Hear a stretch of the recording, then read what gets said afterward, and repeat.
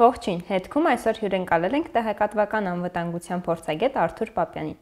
Ողջույն եւ շնորհակալություն մեր հրավերն ընդունելու համար։ Արհեստական բանականության նկատմամբ հետաքրքրությունը գնալով ավելանում է ու անընդհատ խոսում ենք նոր գործիքներից, նոր հնարավորություններից, թե ինչքան շատ բան կարելի է փորձարկել, բայց սա նաև զոր գործիք է չարագործների ձեռքում, այսպես ասած, որոնք կարող են արհեստական բանականությունը վատ նպատակներով օգտագործել Ինչ ռիսկեր այստեղ կան անվտանգության տեսանկյունից։ Իրականում բավական մեծ ռիսկեր կան։ Ասեմ, որ ChatGPT-ից բացի, որը շատ հայտնի է, կա նաև օրինակ Evil GPT, որը թարգմանվում է չար GPT, որովհետև երբ ChatGPT-ն առաջի անգամ հայտնվեց հանրության ձեռքին, բնականաբար հայտն տեղի իրականացրին նաև առաջին փորձերը դա չարաշահելու པարզ օրինակ, པարզագույն օրինակ, երբ ChatGPT-ին տալիս է շատ հստակ հանձնարարություն գրել phishing-ային նամակ, phishing-ային նամակները դրանք այնպիսի նամակներ են, որի մեջ ինչ-որ խայծ կա եւ որի արդյունքում ստիպում են մարդուն սեղմել օրինակ ինչ-որ վատ հղում կամ ներբեռնել վնասաբեր ծրագիր եւ ChatGPT-ի առաջի իտերացիան դեռ նոր էր հրապարակվել, ինքը կարողանում էր շատ լավ phishing-ային նամակ գրել, նաեւ հնարավորություն կար օրինակ ChatGPT-ին հորդորել, որպեսզի ցես համար օրինակ Python-ով վնասաբեր սկրիպտ գրի, որը հետո ներբեռնեիք, հա, այսինքն ամբողջ ցիկլը ինքը ապահովում էր, որպեսզի օրինակ որևէ փոքր գրասենյակի կոտրեն, օգտահաշիվները տանեն խափեությամբ ընդ որում տարիներ շարունակ ֆիշինգից պաշտպանվելու համար խորհուրդ էին տալիս կարդալ նամակի տեքստը եւ եթե տեսնում եք տառասխալներ մտածել որ դա հավանաբար ինչ որ անգրագետ հակերներ են որտեվ հաճախ ֆիշինգով զբաղվում են օրինակ չեմ ինչ որ այլ երկրներից որոնք անգլախոս չեն գրում էին ու տեքստը վատներ լինում Հիմա ChatGPT-ի դեպքում ստացվում էր ընտիր տեքստ, հա, հոյակապ, ոսկեղնիկ, այսպես մեսրոպատար անգլերեն, բառացիորեն ասած, եւ հնարավոր չէր այդ հմտություն, այդ գիտելիքը, որ տիպը տարասխալ եղավ ուրեմն ֆիշինգ, այդ այլևս սկսեց չաշխատել։ Բնականաբար բարձրացավ աղմուկ, հա, քննադատեցին ChatGPT-ին եւ այնտեղ մտցվեց այսպես կոչված ցենզուրա, գրականություն, եւ այսօրվա բոլոր հայտնի խոշոր AI հարթակներում կա գրաքննություն հասածը, այսինքն իրենք թույլ չեն տալիս դու phishing գեներացնես կամ վիրուսային սկրիպտ գրես, հա, կամ Python-ով ինչ-որ օգտահաշիվներ կողանալու սկրիպտ գրես, ինքը ուղղակի հրաժարվում է chatbot-ը ինչ որ ժամանակ դրա համար էլ հատուկ պրոմպտներ կային, օրինակ ասում են ChatGPT պատկերացրու, որ դու անվտանգության փորձագետ ես, այսպիսի սկրիպտ պիտի գրես, որ թեստավորես ու ինքը աշխատում էր հնարավորինս նույն OpenAI-ի, Claude-ի, չգիտեմ, Gemini-ի բոլորի այդ հետևում կանգնած ինժեներական թիմերը այսպիսի պրոմպտների ճանապարհը փակում են, բայց հենց այդ աշխատանքը, թե ոնց են մտցնում գրաքննություն, սահմանափակում պրոմպտներ, արդեն ձեզ ցույց է տալիս, թե այս տեխնոլոգիան ինչպիսի մեծ պոտենցիալ ունի չարիք գործելու եւ նաեւ կան, ինչպես ասացի, վճարվի ծառայություններ Evil GPT-ի նման, ինչպես նաեւ գրաքննությունից ազատ engine-ներ կան, նույն Hugging Face-ին կարելի է ներբեռնել ձեր մոտ լոկալ աշխատանքներ եւ ստեղծել վիրուսներ, վնասաբեր ծրագրեր, phishing-ային նամակներ եւ դա հստակ սպառնալիք է արդեն իսկ AI մոդելների ի հայտ գալուն զուգընթաց phishing-ից պաշտպանվելու օրինակ մեթոդները փորձագետների մոտ փոխվել են, որտեղ ասում առնվազն մեկ խորհուրդ, որ նայեք գրագետ տեքստ լինի, այլևս չի աշխատում։ Իսկ չկան օրինակ հնարավորություններ կամ անհրաժեշտություն նման գործիքներ օրինակ այդ Evil GPT-ին սահմանափակելու կամ արգելափակելու, որ մարդիկ գիտեն, որ հնարավոր է այդպես վատ բաներ անել, դա սահմանափակվի։ Անգլերեն մի լավ խոսք կա, ասում են gene is out of the bottle, այսինքն gene-ը արդեն շշից դուրս է եկել, Բանն այն է, որ այս մոդելները հենց սկզբից աշխատում էին բաց կոդով տարբերակներով, ավելին ասեմ, նույն Google-ը հետազոտություններ էր անում, տարբեր համասարում հրապարակումներ կային AI-ի գծով ու դրանց շատ-շատերը բաց կոդով են կամ հրապարակված են։ Դա նշանակում է, որ նույնիսկ եթե այսօր բոլոր այս պահին արկա AI-ները փակվեն, ծառայությունները սահմանափակվեն, կիբերհանցագործները հնարավորություն ունեն լոկալ իրենց համակարգչում գործարկել այդպիսի լեզվական մոդելներ եւ նույն արդյունքը ստանալ։ Այնպես որ այս ուղղությամբ մտածելու համար մենք արդեն ուշացել ենք եւ պետք է երևի ավելի շատ մտածել մեկ այլ ուղղությամբ, ինչպես պաշտպանվել։ Իսկ նույն պաշտպանվելու տեսանկյունից կիբերհարցակումների դեմ արհեստական բանականությունը ինչ հնարավորություններ ունի ու արդյոք աշխարհում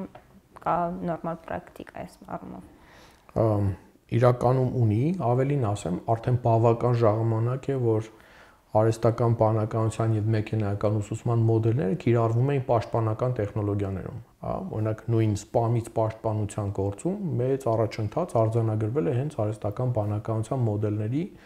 եւ նույն հա մեքենայական ուսուցման մոդելների կիրառման արդյունքում եւ կարեւոր է հասկանալ, որ այստեղ նրբերանգներ կան, եթե ավելի խորանանք, ես նույնիսկ մինչև հիմա այդ արհեստական բանականությունը չեմ համարում, որ գոյություն ունի, այլ ավելի շատ գործ ունենք մեքենայական ուսուցման հետ ու մեծ տվյալների մշակման, բայց ինչև է տնենք կողքի, հարցն այն է, որ այս տեխնոլոգիաները օգտագործվում են եւ օգտագործվում էին նույնիսկ ChatGPT-ի հայլ գալը պաշտպանության ոլորտում Այսինքն համեմատվում էր մեծ քանակի տվյալներ նույն Google-ի հա spam ֆիլտրում, որոնք phishing-ային հարձակումներ են կամ վիրուս են պարունակում, դրանցից արվում էր եզրակացություն, որ այ այսպիսի նամակները բոլորը phishing-ային են կամ spam են կամ վիրուսային են եւ այդպիսի նամակներ արգելափակվում էին։ Դուք դրա հետ ծանոթ եք, եթե այցելեք ձեր Gmail-ի, ասենք spam բանակը կամ որևէ այլ մեյլ ծառայություն ունենում են ֆիլտրների տեղեր, այնտեղ հաստատ կտեսնեք բազմաթիվ այդպիսի շատ ճշգրիտ կերպով ախտորոշված ֆիշինգային հաղորդագրություններ։ Նաև հիմա շատ են խոսում օրինակ cyber reason-ի նման, հա, ծրագրային ապահովում կա, որը դրվում է հայտնում համակարգչի մեջ օկտատիրոջ եւ այսպես կոչված ծայրակ ծայրակ ծայրային սարքում, այսինքն օկտատիրոջ ձեռքում գտնված սարքում արդեն հստակ դատողություններ անելով պաշտպանում է։ Այսինքն այս տեխնոլոգիաները իհարկե գործարկվում են եւ Հենց դրա համար իմ նախորդ խոսքը դրանով էի վերջացնում, որ ինչպես որ AI-ը օգտագործվում է հարցակումների համար, այնպես էլ ինքը օգտագործվել եւ օգտագործվում է եւ օգտագործվելու է պաշտպանության համար, որովհետեւ հարցակումների քանակը էքսպոնենցիալ ավելանում է, այսինքն ամեն տարի մենք ավելի շատ ու ավելի բարդ ու ավելի խելացի հարցակումներ ենք տեսնում եւ դրանց դեմ պաշտպանությունը առանց արհեստական բանականության անհնար է լինելու։ Մենք խոսում ենք ալգորիթմների մասին ու այս ալգորիթմները ուսուցանելու համար հաճախ շատ տարբեր տվյալներ են օգտագործվում, որոնց ցակումը հիմնականում հայտնի չի ու նաև անձնական տվյալների մասին է այստեղ խոսքը, ինչպես պաշտպանել անձնական տվյալները ու արդյոք անհատական մակարդակում մարդը կարող է, այսպես ասած, արհեստական բանականությունից իր անձնական ինֆորմացիան թաքցնել հանուն արդարության, եկեք ասենք, որ այս բոլոր հարցերի պատասխանը չեմ կարող իմանալ եւ AI-ն էլ չի կարող, ոչ ոք չի կարող։ Իրականում ես այս հարցին մոտենում եմ մի փոքր ավելի իմ տեսանկյունից, տեղեկատվության պաշտպանության եւ ես կարծում եմ, որ շատ կարեւոր է, որpիսի մարդիկ, ովքեր օգտվում են արհեստական բանականությունից, ու ինքը ընդուն օգտվում է տարբեր տվյալներից, բայց գոնե մենք էլ մի բան ավել չավելացնենք, հա։ Տեսեք ինչ նկատի ունեմ։ Մեծ է կայտակղությունը, ենթադրենք ունեք ինչ որ կազմակերպություն եք, որտեղ կազմակերպության 1000 անդամների մասին անձնական տվյալներ ունեք։ Շատ մեծ է այսօր գայթակղություն, օրինակ այդ տվյալները կերակրել ChatGPT-ին ու իրեն խնդրել, որպեսզի դրանց վերաբերյալ ինչ որ եզրակացություն անի։ Այ այստեղ այն մասն է տվյալին, որին ես ուզում եմ զգուշացնել մարդկանց, որովհետև պիտի հասկանանք, երբ դուք AI-ներին, հա, արհեստական բանականության մոդելներին կերակրում եք տվյալ, մենք ճունենք երաշխիք, որ ինքը այդ տվյալները չի պահելու ուսուցման համար եւ հետո չի վերաօգտագործելու։ Եվ այստեղ շատ լուրջ վտանգ կա արտահոսքերի։ Այսինքն դուք տվեցիք ձեր 1000 անդամների տվյալները, հետո մեկ այլ մարդ կողքի շենքում օրինակ հարցում ուղարկեց, ասաց խնդրում եմ այս իր կազմակերպության 200 տվյալ անձի մասին ինֆորմացիա տուր եւ շատ մեծ հավանականություն կա, որ AI-ը ձեր ձեր տված ինֆորմացիայից սովորած լինելով լրիվ անծանոթ երրորդ կողմի կտրամադրի անձնական տվյալներ, հա, որոնք պիտի գաղտնի լինեին։ Այսինքն խնդիրն այն չէ, մենք այսօր շատ մեծ հնարավորություններ չունենք ազդելու այն տվյալների մասիվի վրա, որը արդեն AI-ները օգտագործել են, հա այստեղ դատական գործեր կան, երևի գիտեք նույն Perplexity AI-ին, ինքը հակառակ նրան, որ իրեն թույլ չեն տվել ինդեքսավորել ինչ որ կայքեր, ինքը ինդեքսավորել է եւ ստարտափ միջավայրում այսպիսի մոտեցում կա, որ մի բան անենք, հետո վերջում ներողություն կխնդրենք։ Facebook-ն էլ է միշտ դրանից արել, հա։ Այսինքն ոչ միշտ է որ այդ մոդելները ստեղծող մարդիկ էթիկապես են վարվում, այնտեղ կարող է լինել արտահոսքեր եւ դա արդեն իսկ խնդրեմ է, այդ մասին պետք է գիտակցել եւ առավելագույնը որ երևի կարող ենք անել այն է որ մենք էլ մի բան էլ չավելացնենք դրան անզգուշությամբ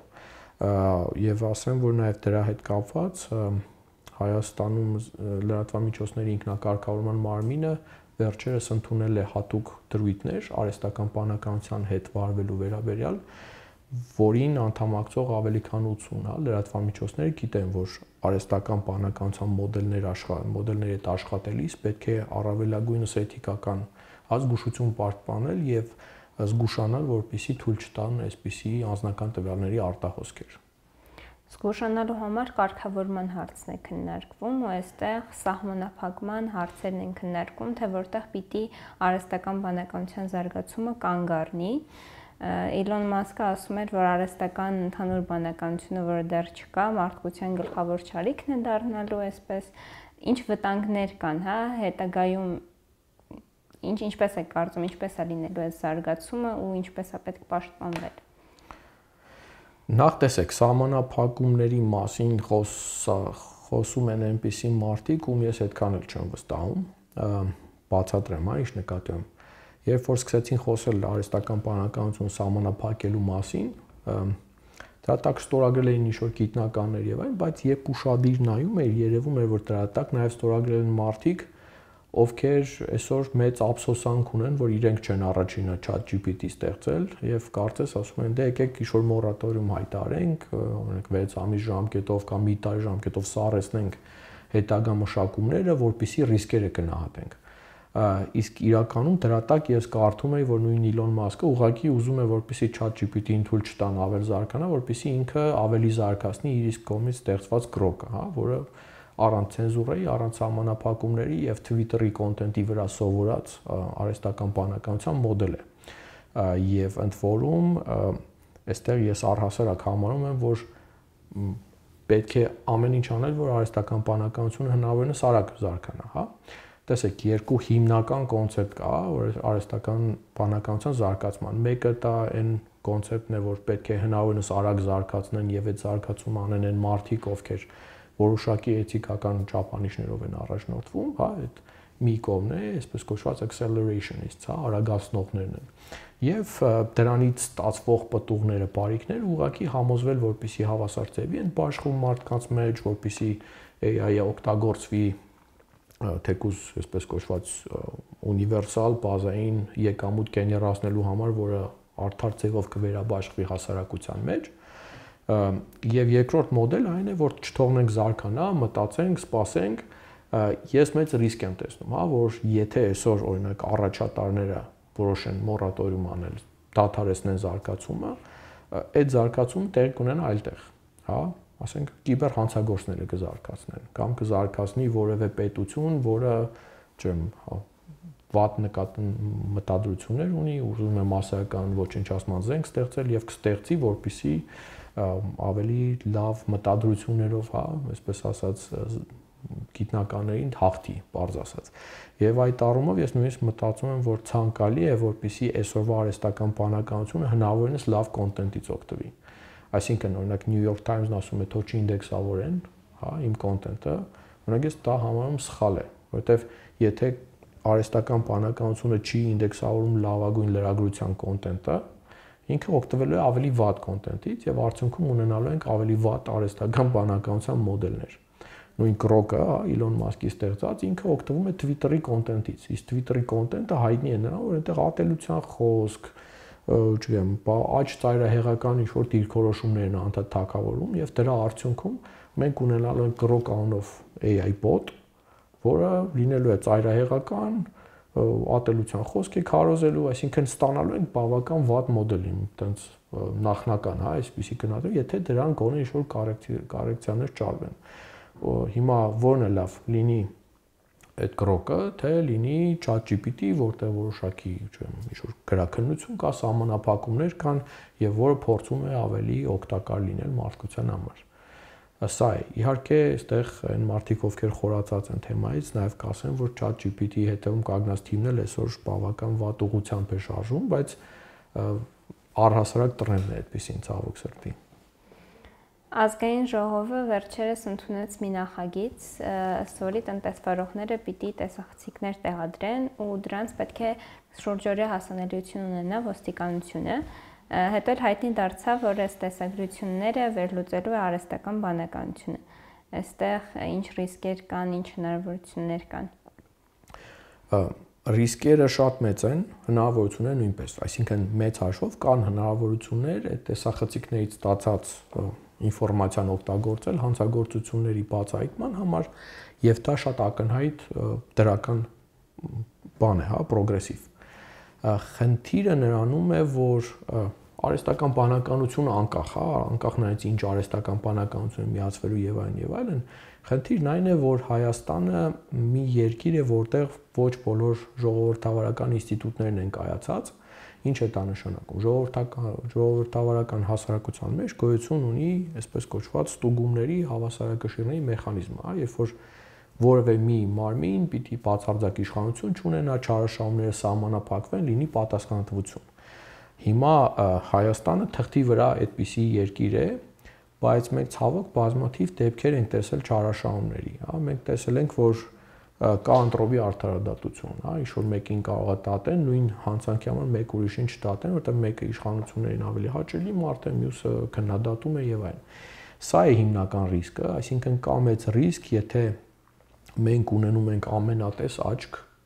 որին կծված է արհեստական բանականություն, որը չի հոգնում, չգիտեմ, չի գնում լանչի, հա, այսինքն ինքը անընդհատ հետևում է եւ կարող է շատ թիրախավորված ու 100% ճշգրտությամբ հետևել օրինակ իշխանության որևէ քննադատի կամ հետևել որևէ հետաքննող լրագրողի, թե որպեսի տեսնի ինքը ինչ աղբյուրների հետ է հանդիպում, ուր է գնում, ինչ է անում դա կարող է հանգեցնել մի այնպիսի իրավիճակի, երբ որ իշխանությունները փորձեն օգտագործել այս տեխնոլոգիաները կոնկրետ իրենց քննադատներին լրացնելու եւ իրենց ազատությունները սահմանափակելու։ Սա երևի առաջին մեծ ռիսկն է։ Իհարկե կան նաև այլ ռիսկեր կախված տեխնոլոգիաների հապշտապ ներդրման հետ, հա, երբ որ ներդրվելու են այնպիսի բիզնեսների մոտ, որոնք կարողություն չունեն դա անվտանգ կերպով կառավարել եւ այլն, ես այդ մասին տարբեր առիթներով ես եւ իմ թիմը խոսել ենք բայց կոնկրետ ընդհանուր այս մտահոգությունը, որ դա չարաշավելու է, շատ մեծ է, որտեվ արհեստական բանականության ներդրումը այստեղ հավելյալ ռիսկ է ստեղծում, հա որտեվ նայեք ամեն մի մարդու հետևելու համար մեծ հաշվով եթե ուղակի տեսախցիկներ են իշխանություններին պետք էր գալու 2-3 հոկանոց թիմ, հա, որ մեկը կամերաներին նայի, մեկը որ ինչ որ տվյալ մարդու մասին բավարար ինֆորմացիա իմանա կամ վերլուծաբան լինի, ասի այս ինչ բանին ուշադրություն դարձրեք, այս այս մարդու դեմքը ճանաչի, հա, որտեղ մեկը տեխնիկական օպերատոր է ենթադրենք, մյուսը այսպեսի եւ եւս ասենք մի հոգել, որ առհասարակ ստրատեգիական որոշումներ անի։ Այսինքն 100 հոգու հետևելու համար ձեզ գուցե 300 հոգանոց թիմ պետք կար։ Իսկ այս դեպքում, եթե կա արհեստական բանականություն, դու կարող ես ինչ որ պարամետրեր սահմանել, տալ տվյալ մարդու դեմքը որպեսի ճանաչի եւ ասել օրինակ այս պարամետրով տվյալ մարդուն տես ինքը ում հետ է շփվում, բոլոր ում հետ որ շփվեց այդ մարդկանց էլ բոլորին հետևի ավտոմատ կերպով, տես նրանք ինչ են անում եւ դրանից ելնելով ինչ որ վերլուծություն ներկայացրու, թե օրինակ այս ինչ հետաքննող լրագրողը ինչի մասին է նյութ պատրաստում եւ այնպես արա, որ այդպիսի նյութը օրինակ չեղարկվի կամ հետքերը վերացվեն, հասկանում եք, այսինքն պետք է հասկանանք, որ կան այսպիսի հստակ ռիսկեր եւ քանի որ մենք այն պետությունը չունեցենք, որտեղ որ մենք կարող վստահ լինել, որ բոլոր ոստիկանները էթիկապես լավը կլինեն։ Կան շատ լավ, ազնիվ ոստիկաններ, բայց քանի որ մենք վստահ չենք, որ այդ ցիկլը ամբողջական աշխատում է, քանի որ մենք վստահ չենք, որ կա զսպումների մեխանիզմ, հա, որ կամայական դա չի չարաշավի։ Այստեղ մենք լուրջ խնդիրներ ենք տեսնում եւ միջև որևէ քանի որ վստահությունը չկա, գոնե տեխնիկական զսպանակներ չմծվեն, զսպիչ գործոններ չմծվեն, շատ վտանգավոր է լինելու այսպիսի օրինագծի ներդրումը։ Այսինքն այստեղ խնդիրը ավելի շատ ոչ թե արհեստական բանականությանն է վերաբերում, այլ այն կիրառողներին։ Այո, մեծ հաշվով այո, որտեվ եւ արհեստական բանականություն ուղղակի ավելի հզոր գործիք է լինելու իր ձեռքում, ընդ որում արհեստական բանականություն կարող է նաև շատ լավ հնարավորություններ ստեղծել նույն հանցագործությունների բացահայտման եւ սահմանափակման համար։ եւ որպես դրա ինչ որ մի ապահովում ես կոնե կառաջարկեի, որ այդ օրինագծում նախատեսվի հասարակական վերահսկողության ինչ որ մի մոդել հա, որpիսի իրավապահները իրականում օգտագործեն, եթե դա ի վերջո լինելու է, գոնե օգտագործեն այդ տեսախցիկները, արհեստական բանականության մշակումները կոնկրետ հանցագործների բռնելու համար եւ ոչ թե օգտագործեն ընդդիմադիրների, լրագրողների, իրավապաշտպանների գործունեությունը սահմանափակելու համար։ Շատ լավ, շնորհակալություն հետաքրքիր զրույցի համար։ Այսօրվա համար այսքանը, չմոռանաք բաժանորդագրվել մեր YouTube-յան ալիքին եւ տարածել մեր տեսանյութերը։ Thank you